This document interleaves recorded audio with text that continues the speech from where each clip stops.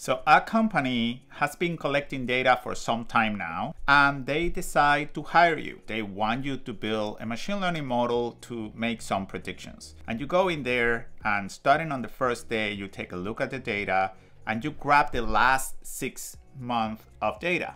Um, you make the decision of train your model using the first five months and then leave the last month for testing your model and everything is great and you spend some time building this model and at the end you realize that the model performs very very well on that training and validation sets. However as soon as you test your model using the test data remember the last month that you used your model sucks.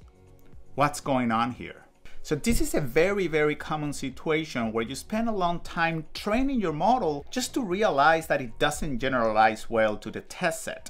Today we're gonna be talking about a very, very clever technique that's gonna help you, number one, diagnose the problem, and number two, it will set you on the right track to fix it. Let's start. So we all know about overfitting and there are 1 million ways to fix overfitting, to, you know, to deal with it. But there is something that many, many people miss in one of these situations where their model is not doing well on the test set. And is that maybe, just maybe, that test data is not coming from the same distribution than the training set. So what, what does that mean? I have here my iPad. We're gonna try to take a look at what I'm talking about. So let's say we get our data set and we split our data set in two, right? So we have a training set and then we have some of the data that we're leaving aside for our test set, right? So I'm going to make the assumption that we could visualize this data in two dimensions. So if I go here and I'm gonna try to plot my training set here, let's, let's make the assumption that this is what that training set will look like if we were to plot it in two dimensions. And now let's plot the test set. And let's assume that when we plot the test set, this is what we get.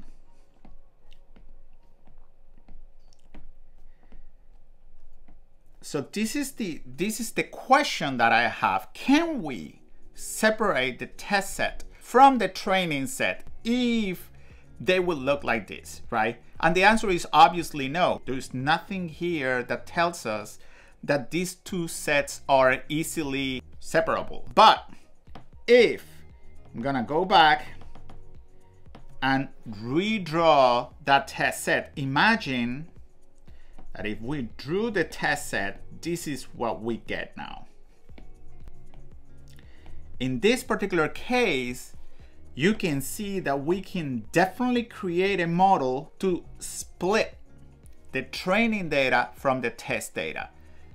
What this means is there are features on the training data that are pulling our training data to the left side of this chart. And there are other features that are pulling our test data to the right side of this chart. So these features here are making both of our sets different. Therefore, if we train a model on this training set, that model will learn to fit specific information that is not present on the test set. And the same thing applies at the time that we test our model on this test set. We will expect features that are not there. We will expect information that is not there. So obviously the model is gonna start making some wacky predictions. This is a problem that's very common. Now, how could this happen? When I started this video, I gave you one example where, where you take six months worth of data and split that in five months for training and then one month for testing. So something that happens very commonly is that the world changes. Um, we don't realize that it changes. Like when COVID happened, for example, a bunch of the processes, a bunch of uh, behavior of users completely changed at that time, causing many, many machine learning models to, to stop making good predictions.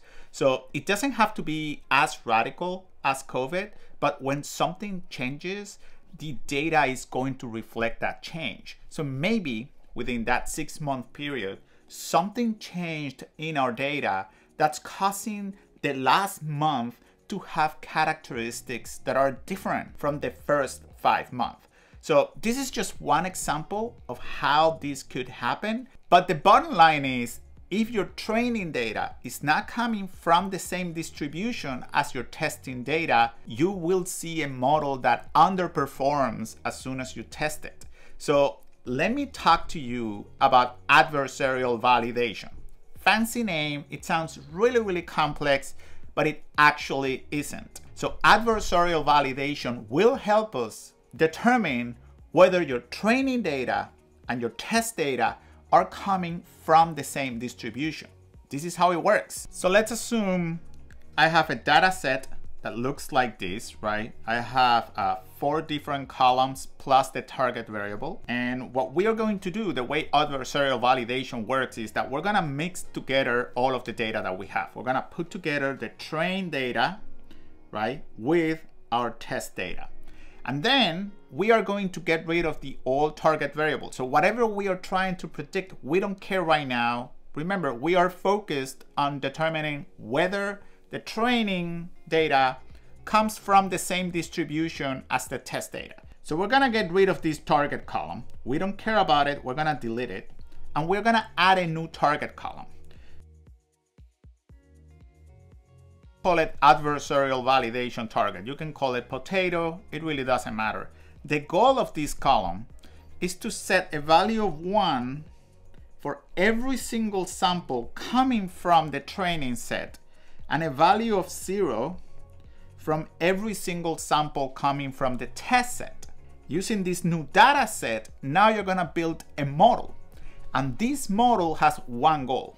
You want with this model to separate or at least to try to separate the training samples from the test samples. If this model is successful, that means that there is a problem with the distribution of your data. If this model is capable of splitting training samples from test samples, that means your distributions are different. So how do we evaluate this model? To put together this model is a very, very simple binary classification model. You throw all of this data at it and you're gonna evaluate it using the ROC curve, right? The receiver operating characteristics, that's a mouthful curve, okay? So let's say we have this curve and this is the way it's gonna look like, right? And here you're gonna have the true positive rate of your model and the false positive rate of your model. And you know this here means okay so this is the random chance meaning a model that does randomly select samples from where they come from it will perform at about this line. And then we are going to use the AUC okay the area under the curve to compute how this model is doing to measure the performance of this second model, okay? So the idea here is very simple. If our true positive rate versus false positive rate, if it looks like this, the area under that curve will be close to 1.0. If we get an AUC close to 1.0, that means that our model is very good at telling whether a sample comes from the training set or whether it comes from the test set. So what does that mean? Well, if we get a high AUC, that means that we have a problem with the distribution of both of our sets. That means that there is something that's giving away where one sample is coming from. So we should take a look at those sets. Now, the opposite case is if our area under the curve or if our ROC curve is, you know, very close to this line here. So in that case, we will get an AUC close to 0.5, meaning our model is very close to randomly deciding, making a decision, right? Which means our model cannot tell training samples from test samples. That's a good thing if our model cannot tell the samples apart, that means that both sets come from the same distribution. So that's great. So if your model is not doing well on the test set, it's not because there are differences in the distribution from where they come from. That means that you have a different problem. But let's assume for one second that you do this, you create this new data set, you build a model, you run a prediction, and you get a high AUC. So the area under the curve is at or close to 1.0. So what do you do next? So now you know that the both data sets are not coming from the same distribution. But that's great, but what do you do with that information? Well, you have that model.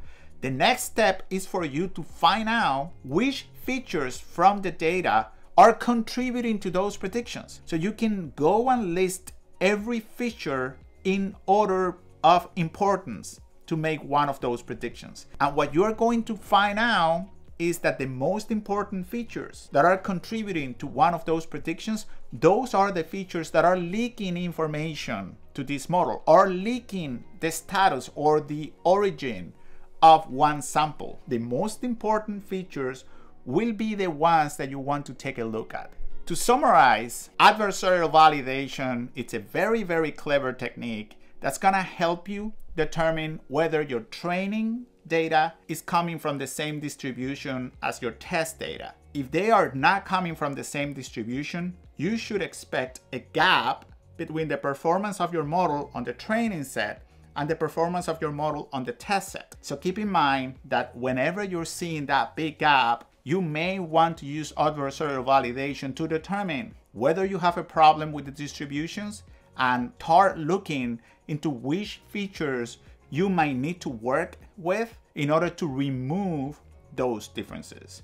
I hope this was helpful. So let me know in the comments if you have any questions and and if you're looking for a different way, I like to call it a more fun way to learn and keep up with machine learning, take a look at bnomial.com. The URL is gonna be down here where we write one machine learning question every single day for you to practice what you know.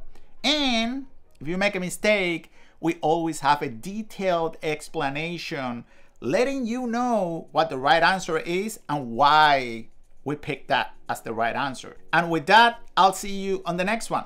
Ciao. So let's say we have a data set. Oops. I turned it off. It's not that easy to work with this iPad here. Okay.